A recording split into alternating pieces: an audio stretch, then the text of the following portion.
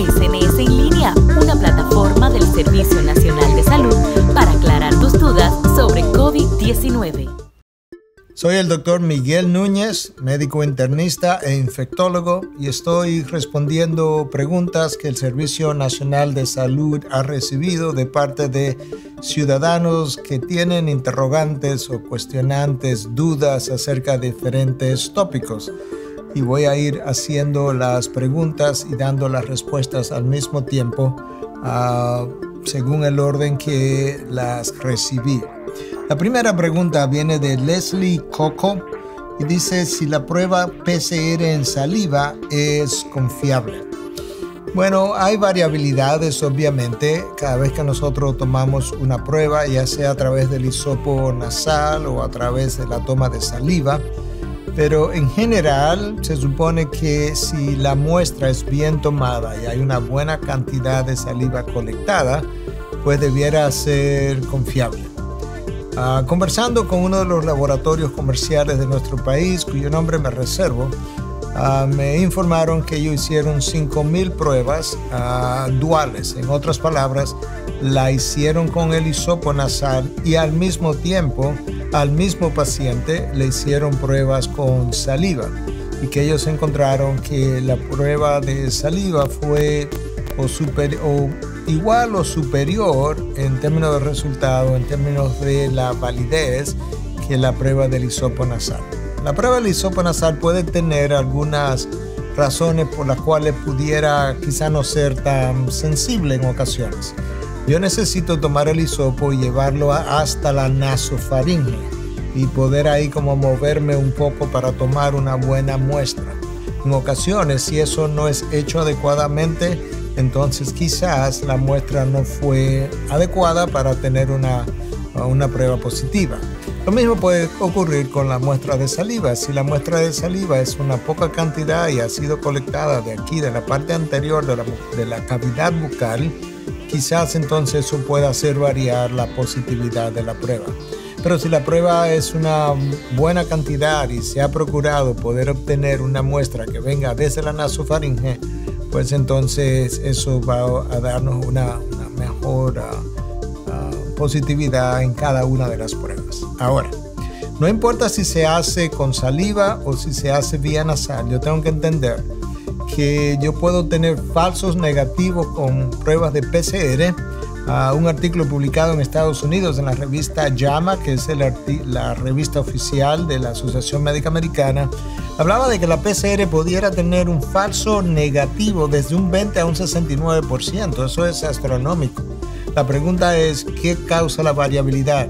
Algunas ya yo las mencioné, pero hay algo importante. Si yo tuve un contacto con una persona en el día de hoy, que, es un paciente de COVID, y 48 horas después me estoy haciendo una prueba de PCR, lo más probable es que va a estar negativa.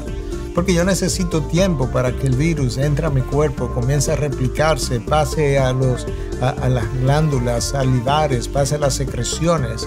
Y eso va a tomar varios días, de manera que en ocasiones mucho tiene que ver con el tiempo cuando la muestra fue tomada. En otras ocasiones, si yo esperé 10, 12, 14 días después para tomarme la prueba, quizá yo me negativicé ya la prueba pudo haber dado negativa también. Yo espero que esto haya podido responder sus inquietudes de una forma más o menos completa. La segunda pregunta viene de Melanie Ceballos y dice lo siguiente. ¿Cuáles son las personas con mayor riesgo de enfermarse gravemente de COVID-19? Bueno, siempre se ha hablado de la edad, pacientes más de 65 años de edad que aparentemente tienen un mayor riesgo. Sin embargo, cuando New York se convirtió en el epicentro y el estudio pudo haberse hecho con miles de pacientes, se pudo ver que pacientes aún de 75 años de edad que no tenían enfermedad subyacente, pues no necesariamente tuvieron una mortalidad mayor, lo que nos dice que aparentemente la edad solamente no es un factor de riesgo.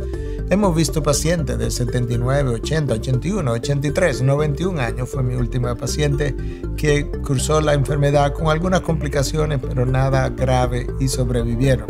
Y otros pacientes más jóvenes que lamentablemente por una u otra razón tuvieron un curso peor.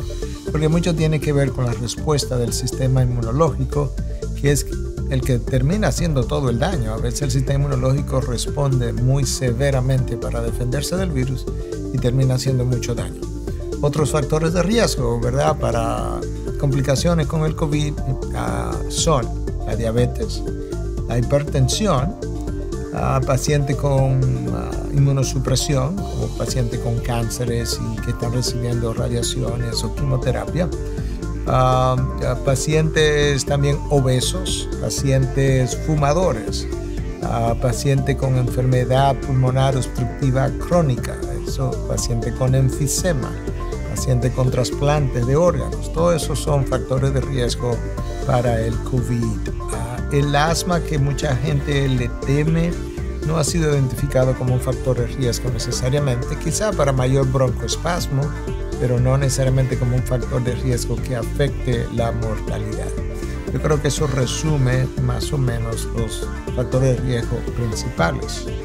Número 3. Claudia Peña hace la segunda pregunta. ¿Qué efectos tiene el COVID a nivel gastrointestinal? Bueno, el COVID, uh, cuando un paciente con COVID hace manifestaciones gastrointestinales, usualmente están limitadas a náusea, vómito, diarrea. Y más diarrea que la misma náusea y el mismo vómito. La diarrea aparece en un 20-25% de los pacientes, usualmente no es una diarrea incontrolable, es molestosa obviamente, es debilitante porque el paciente se está deshidratando, pero en, en sentido general esas son como sus manifestaciones. Obviamente van a aparecer casos más esporádicos donde ha habido cierta, yo no le voy a llamar parálisis del intestino, pero sí el intestino se ha hecho mucho más lento, alteraciones de las enzimas hepáticas. Eso es común en muchos de los virus y el, el COVID no es una excepción, eso pudiera también ocurrir. Ah, en ocasiones, para mencionarlo como parte de la respuesta, aunque yo sé que esa no es exactamente la pregunta, cuando se ha usado el medicamento Toxilupsimab, es un medicamento que ha sido usado para pacientes con COVID que han requerido, que han estado intubados y han estado con una neumonía bastante avanzada.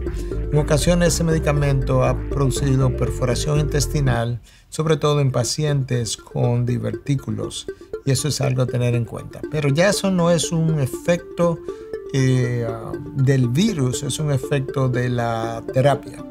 Ah, también pudiera ocurrir ocasionalmente embolizaciones al intestino, eso pudiera ser, lo cual pudiera producir la muerte de algunos segmentos del intestino. Eso no es común, pero igual como COVID ha sido o es conocido como un virus que ha tenido tantas manifestaciones distintas, pues es una de ellas que también pudiera presentarse aquí o allá. en sentido general, diarrea y ocasionalmente náusea y vómito. Esta fue nuestra última pregunta y respuesta a la misma. Ah, le habló el doctor Miguel Núñez, médico internista e infectólogo, sirviendo para el Servicio Nacional de Salud. Será hasta la próxima. SNS en línea, una plataforma del Servicio Nacional de Salud para aclarar tus dudas sobre COVID-19.